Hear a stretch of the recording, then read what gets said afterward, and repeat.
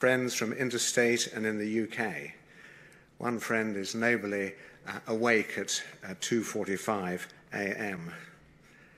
Special mention must be made of Mary Clarks, Lynn's oldest friend in Telford in the UK, and it's a joy that Mary's sister, Margaret, is, can join us this morning. We welcome you, Margaret. Leaving school at the age of 15, she went to the Thanet Technical College in nearby Ramsgate in 1949. And on the very first day, she met another new student, Mary Clark, and they became firm friends and remained so for the next 71 years.